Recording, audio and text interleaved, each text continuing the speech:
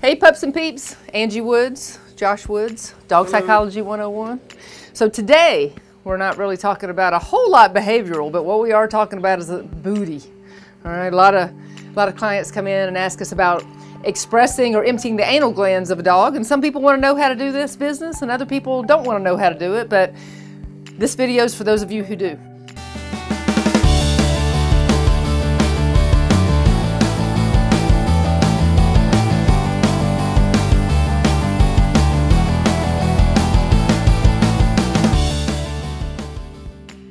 If you're new to our channel, please be sure to drop us a like and hit the subscribe button below. You'll be the first in line to receive our new videos. So we're going to show you the external method. There's two different ways of expressing anal glands. One's from the inside, which I think should be done more by a professional, maybe your veterinarian or a groomer. Um, but there's a way to do it from the outside, which is not invasive. You don't have to go inside the booty, and uh, it's actually not that hard. So let's give it a shot in my opinion, the most important thing about this is obviously the dog's health, but gloves. You will appreciate the gloves. You don't want to get this on you. It's terrible. Doesn't can't wash it off.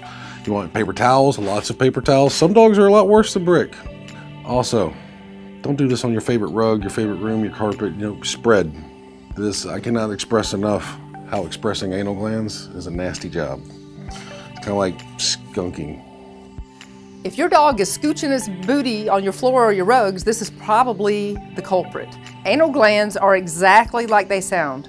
There are one gland on each side, on the left and the right. If we put our gloved fingers here and we put a little pressure back behind the anus, notice how I'm pushing back a little bit? We can feel two little grapes back here. These guys are full of fluid.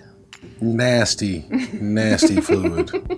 However, sometimes the fluid, if the anal glands become impacted and they're not emptying like they normally should, then they become impacted, which means they're more like a cottage cheese consistency. And unfortunately, if that happens, if you're not successful or find that your dog is painful during this process, you may need to go see your veterinarian so that they can do an internal um, reduction of the anal glands. All right, so number one, make sure you lift the tail. By lifting the tail, not too hard, we don't want to hurt your dog.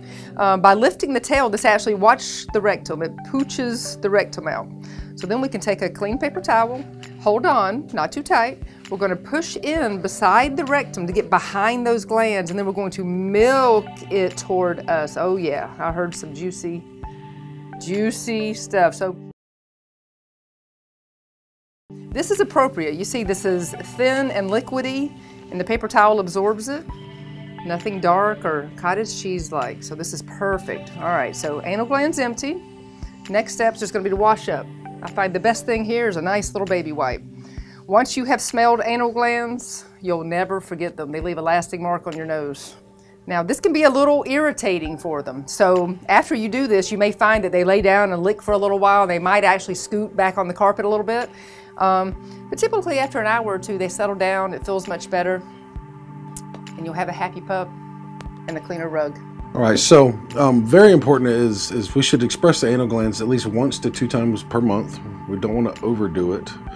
They do need to learn, their body needs to learn how to express the anal glands on its own. You know, that they can get into their own rhythm. They just need a little help. Um, big advice also, I'll, I'll stress again in case you did not pick up on gloves, paper towels are your friend. You don't you do not want to get this juice on anything that you care about. It's, it's a wrap after that. Um, but all but in all seriousness, we need to, to keep up on our dogs. If you see them scooting their, their booty around on the carpet or, or licking licking the backside frequently, we need to we need to check their anal glands. And there's there's no reason that, that we can't do this on our own. Well, thank you for tuning in to Dog Psychology 101. Make sure to subscribe, hit that like button. We love to hear your feedback. Thanks.